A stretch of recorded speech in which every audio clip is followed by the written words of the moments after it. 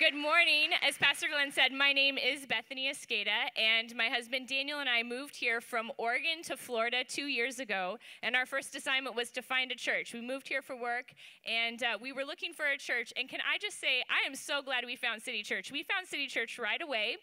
And uh, there's a couple of things that I love about our church that I'd like to share with you this morning. Number one, I love the hospitality. As we drove in, there were parking attendants directing us to VIP parking that first Sunday, right?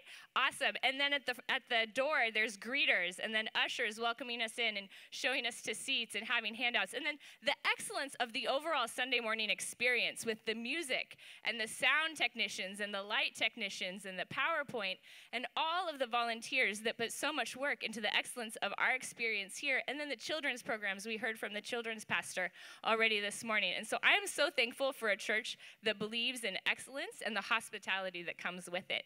The other thing that I love about our church, yeah, you can give a hand to that. So, yeah.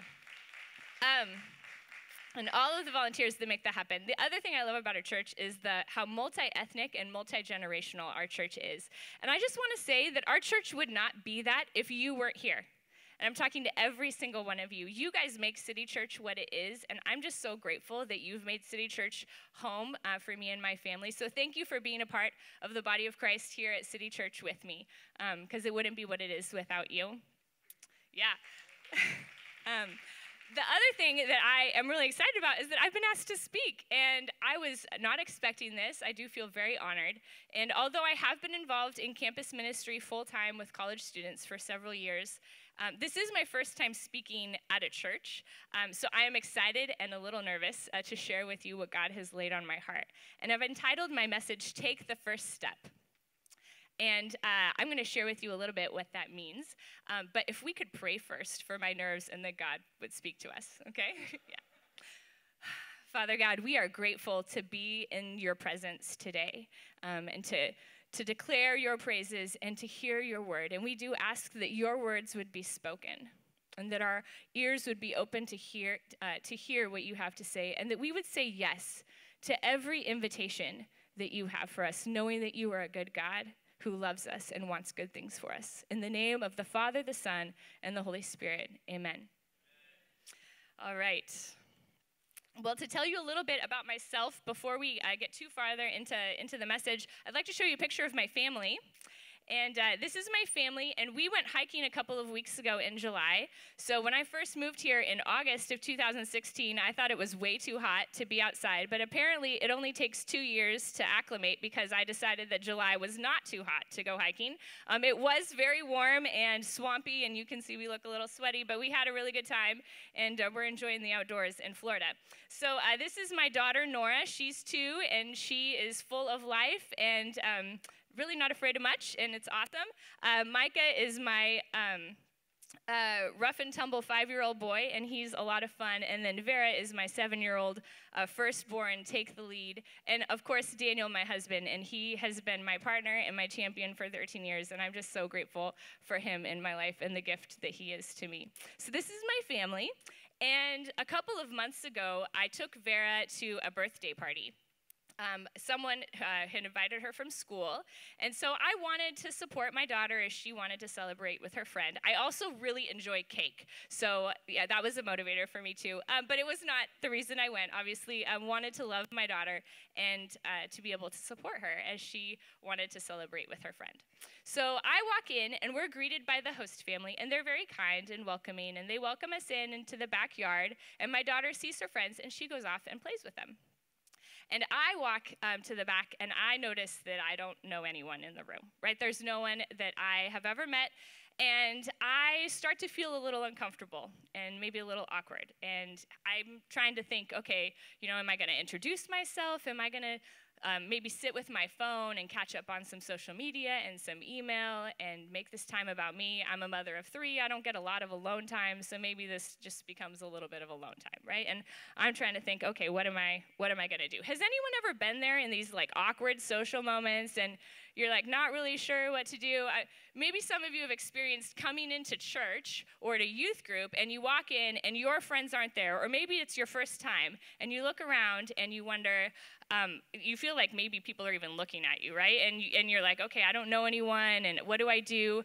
Um, some, some of us may have experienced this in the lunchroom at work or at school, and we walk in, and maybe our friends that we usually sit with aren't there, and and you're like, okay, well, do I introduce myself to a table full of strangers? Or I don't usually eat with them, so is it okay if I sit down? Or I don't really want to sit alone. I hated sitting alone in high school so much that I actually ate alone in my car my senior year, like quite a bit, because I just don't like the awkwardness of sitting alone and feeling like everyone is looking at me. So I don't know if any of you have experienced this awkwardness and discomfort of. Um, of being the one in the social setting that doesn't know anyone. But uh, I feel that way because I don't want to take the first step, right? Like if I'm new to church, I want people to come talk to me, and rightly so. And when I'm in the lunchroom, I just want someone to say, hey, come sit with us. You know, I want the invitation. I don't want to be the one that takes that first step because it's risky. Like, what if they actually don't want me to sit with them, right? Like, what if, I mean, that can happen. Like, what, what if they say, like, what if I say the wrong thing? And so, um, I don't know if any of you have experienced this, but if you have, the good news is that God has something for us in these moments. There's actually something that God wants us to do in these moments of discomfort and awkwardness. And so we're going to look at a story of Jesus and what Jesus does um, in the discomfort and how he takes the first step in relationship. So, um, if you are here with us today and you are not a Christian, you have not made a decision to follow Jesus, we are so honored that you are here with us. Thank you so much for stepping into the room or watching online. It takes a lot of courage to step into places like this and to explore faith, so thank you for being here. And as I speak for the next 30 minutes or so, you get to listen and decide if you um, want Jesus' teaching in life to influence your life in any way. That's your choice, and we're just honored that you're here. If you are a Christian in the room, you've decided to follow Jesus, then, like me, we have already made a choice to be like him and to follow him. So our choice is made for us, and now it's a matter of figuring out who is Jesus and how can we be more like him. And that's what we're going to do today. So I'm going to ask you to open your Bibles to John chapter 4. We're going to start in verse 6 and it'll be on the screen for you to follow along. Um, before I read, I want to give some context. So, Jesus is Jewish, and he is traveling through Samaria, which is um, an area there near Judea. And so he is traveling through Samaria, and um, there is a lot of hostility between Jews and Samaritans. Um, the hostility is both religious and ethnic. Uh, Jews, if you look at historical documents, um, they're pretty offensive. Um, they go so far as to call Samaritans half breeds, which to us it's a very offensive term, and rightly so. And uh, the reason for that is because generations ago, the Samaritans were actually Jews who intermarried with Gentiles in the area. And so there is a lot of hostility. Um, between uh, Jews and Samaritans. And so Jesus is traveling to Samaria and he sits down at a well. That is our context. And I'm going to read uh, starting in verse 6. Jacob's well was there, and Jesus, tired as he was from the journey, sat down by the well. It was about noon.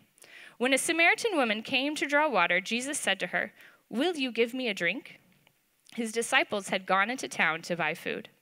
The Samaritan woman said to him, You are a Jew, and I am a Samaritan woman. How can you ask me for a drink? For Jews do not associate with Samaritans. Jesus answered her, If you knew the gift of God and who it is that asks you for a drink, you would have asked him, and he would have given you living water. Sir, the woman said, You have nothing to draw with, and the well is deep. Where can you get this living water? Are you greater than our father Jacob, who gave us the well and drank from it himself, as did also his sons and his flocks and herds? Jesus answered, Everyone who drinks this water will be thirsty again, but those who drink the water I give them will never thirst. Indeed, the water I give them will become in them a spring of water welling up to eternal life. The woman said to him, Sir, give me this water so that I won't get thirsty and have to keep coming here to draw water. This is the word of the Lord. So, as we look at this story, um, I already shared a little bit of the context uh, between Jews and Samaritans and the hostility that existed there. Jewish leaders in Jesus' time went so far as to say if Jesus drank from the cup of this woman, he was considered unclean, unfit. Um, to go before the Lord. And so the fact, not only that Jesus is engaging her because she is Samaritan, but that he would ask to drink from her cup is just crazy what Jesus is doing. Okay, so there's, there's that. Um, the other thing that's really crazy about this interaction is that Jesus is a man, he's a Jewish leader, and the fact that he is speaking to a woman and an unknown woman at that is also. Um, outside of anything normal for Jewish leader, Jewish men as leaders to do in that time. So he is engaging a Samaritan, he is engaging a woman, and then also she is um, she is an outcast by her community. So um, so he is he is engaging someone who has been shunned by others in her community, and we know that because she comes to the well at noon. How many of you like to mow your lawn in the heat of the day in July and August? Anybody like to be outside, right? Very few of us in Florida want to do our outside chores in the heat of the day. And it was the same for these women. They would come to the well in the morning when it was cool rather than coming in the heat of the day in the afternoon. But this woman comes in the afternoon because she's avoiding the women she would see in the morning. And so she's outcast by her community. And we know we later learn in the story that the reason she is avoiding her community is because she has had five husbands. Now, we don't know um, her, the context of how she came to have five husbands, but what we do know is that she did not initiate five divorces, because as a woman, she could not initiate five divorces. So all we know is that for some reason, either her unfaithfulness or other reasons, she has lost five husbands. And the man that she's with now has not married her, making her situation even more, um, more painful, less respectful. Can you feel the pain that she must have? Right? She is she's avoiding the women. She has no community. She is lonely and she is walking to do her chores and she says, "Just leave me alone. Let me survive my day." Right? I don't want to talk to anyone. I just need to get my water and go home.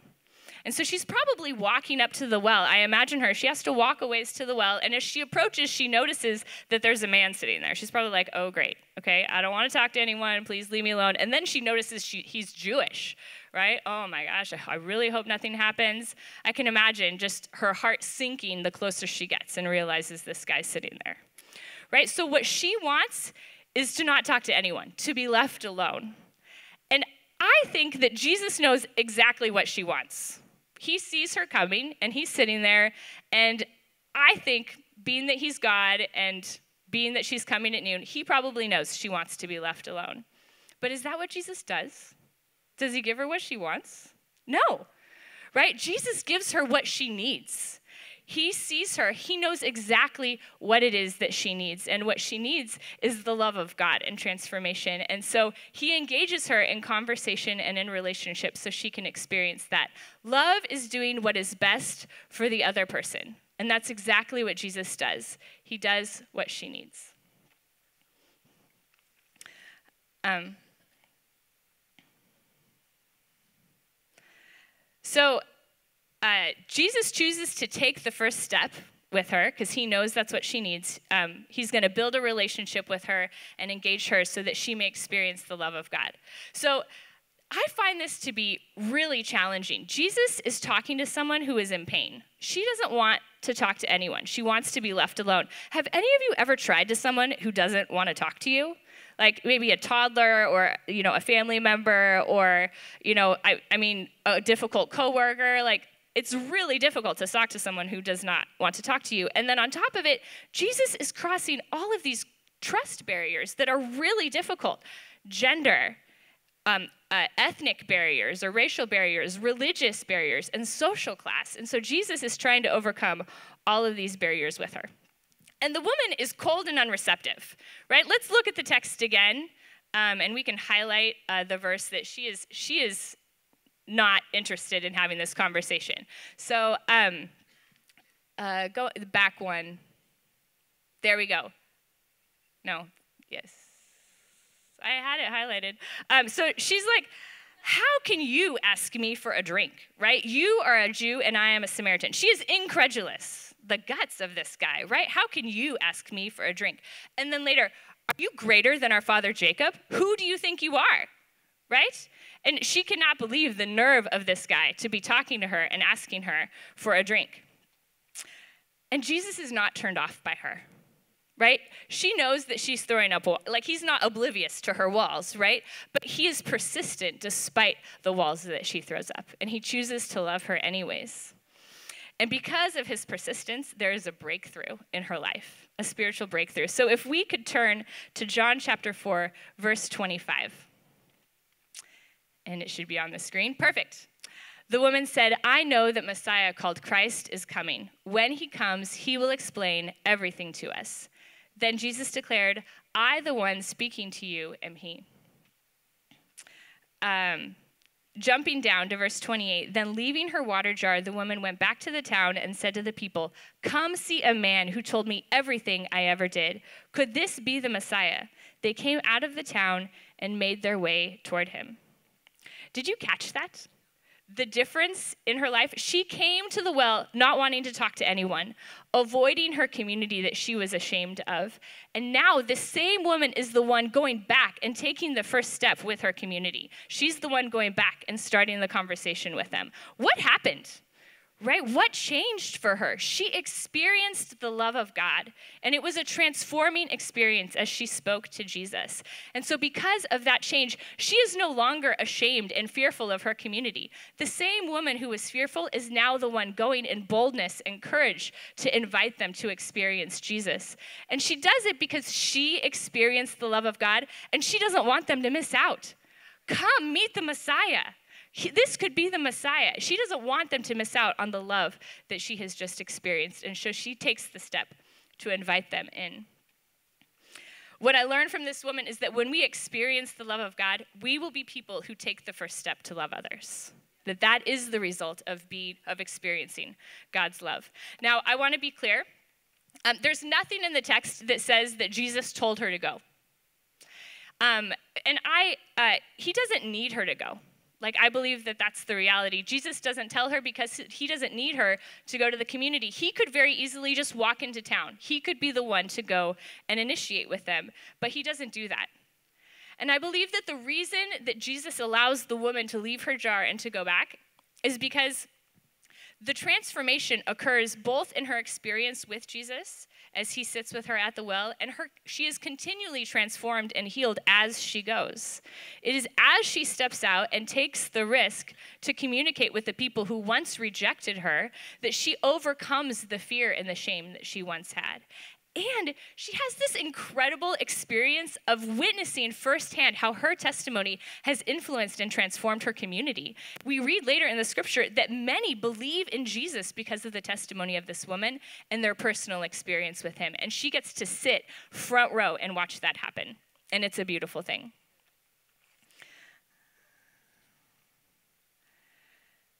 You see, as we step out and love people, as Jesus does, we are transformed in the process. And that's what God wants for each one of us. Jesus doesn't need us to go tell people about him. He wants us to be transformed as we choose to be people who take the first step in love.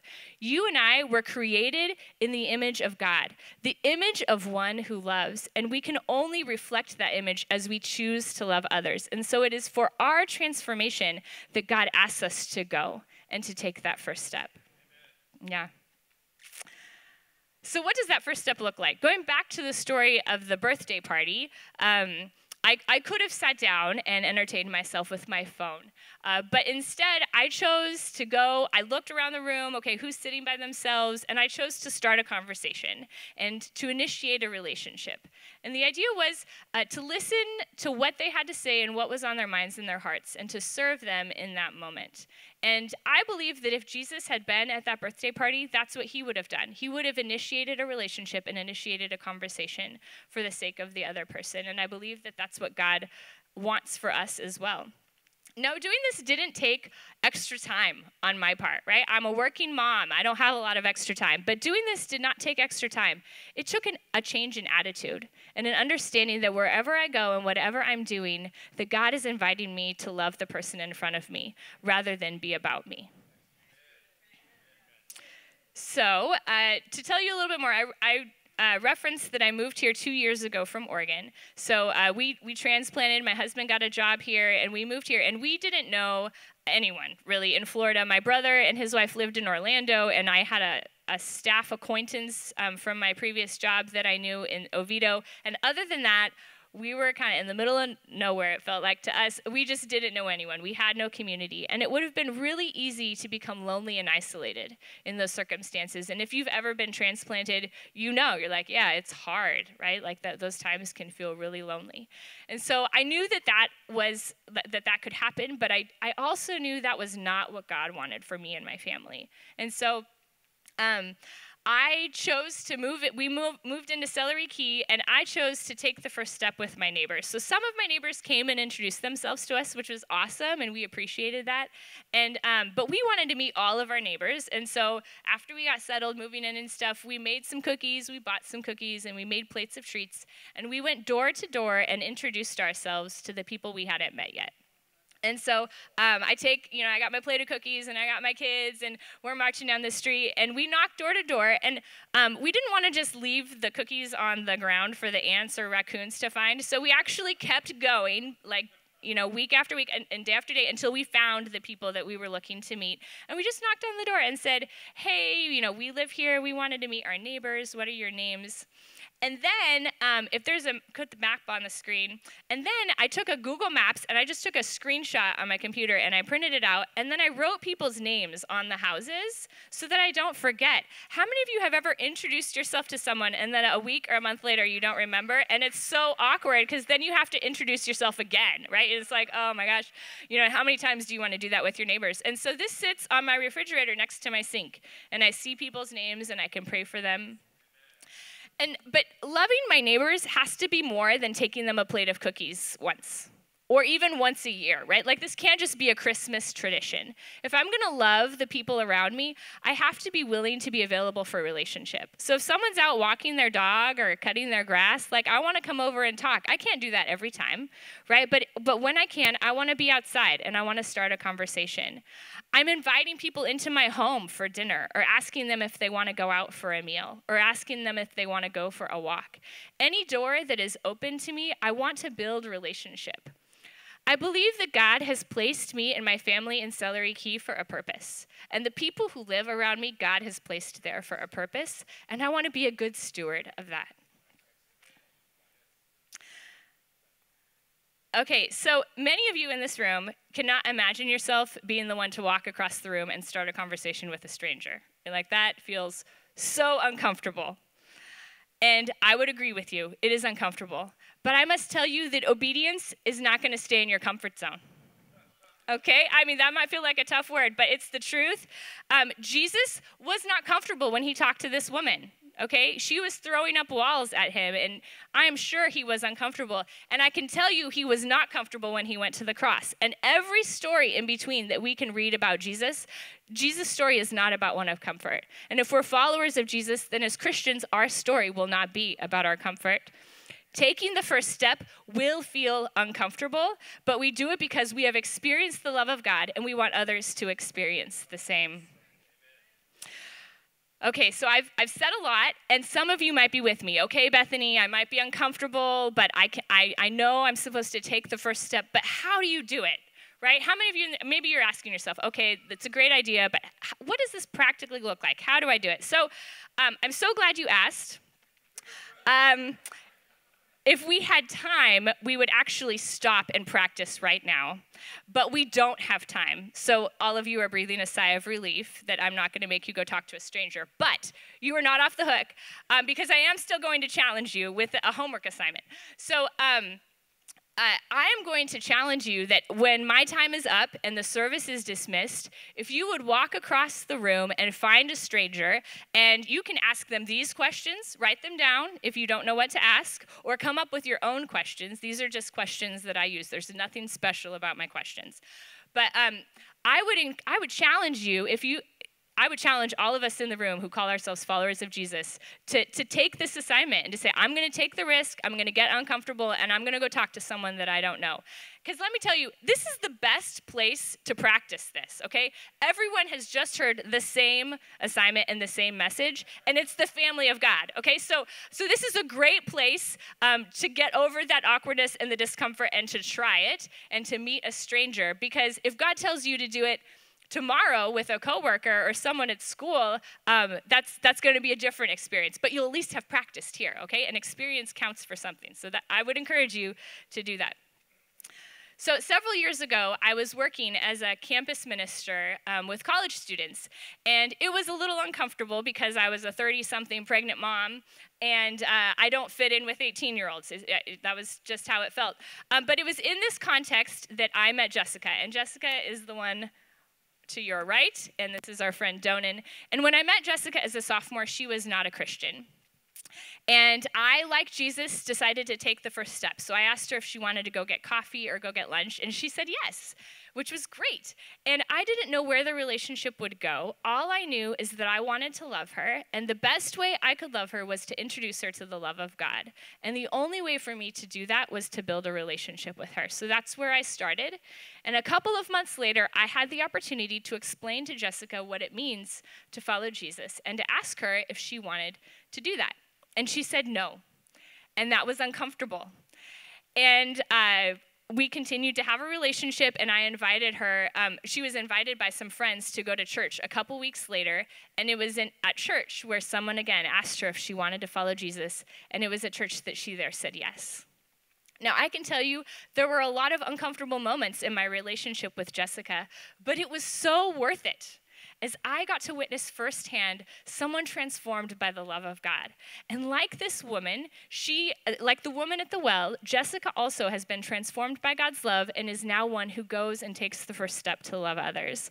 And so she's actually working full time um, this fall uh, for the first year, uh, working with college students just like I did in Washington. And she is initiating with students so that they may experience the love of God as she did, and she can invite them into a relationship with Jesus. Who are the Jessicas in your life? They might be your noisy neighbors. They might be an obnoxious coworker or a really difficult family member. Um, it might be a stranger you haven't met yet. But I have been praying that God would place someone on your heart, that every single one of every single one of us in this room, that God would be placing a name in your mind right now. And he would be inviting you to take the first step in relationship with them. If you have experienced God's love for you, if you consider yourself to be a follower of Jesus, then God wants you to take the first step. All right. Next steps. I'm ready for next step. Thank you. Okay, so we are going to take our next steps. First, if we're going to do this, we need to experience God's love. So if you're a follower of Jesus in the room, uh, you've already experienced God's love um, in some way, but we need to continually be renewed in God's love for us so that it overflows and we can offer ourselves to others. So it is, I'm going to pray that we would experience that again as we leave, and we've already experienced it in worship, but that we would continue to experience that throughout our week as we're in community and praying and in, our, in, in the Word. Secondly, um, we want to ask God who He's leading us to. So as I pray, we'll, we'll take a moment of silence, and hopefully, God is placing someone on our hearts. But if you don't have a name in mind, like if God doesn't put a name in your mind, um, that just means that you're to love whoever is in front of you. Finally, um, our last step is to take the first step, right? To actually start a conversation, to invite someone over to your house to eat or to go out to eat, and to just make yourself generally available for a relationship. As we experience God's love, we will be people who demonstrate God's love to others by taking that first step. So I want that for myself. I want that for my church and my family, for my community. I want God's love to so fill my life that, that it just overflows to others, um, that it doesn't feel costly every time I, I feel uncomfortable, right? I just want the love of God to move me as it moved this woman to her community. Can I pray that for us, that we would be people who are moved by the love of God to go to others and to take the risk? All right, let's pray.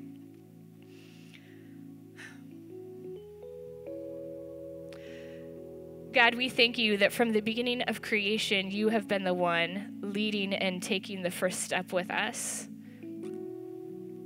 That you ask nothing of us that you have not already done yourself through Jesus Christ, and that it is your great love for us that sent Jesus to earth to die on the cross and to, to raise again.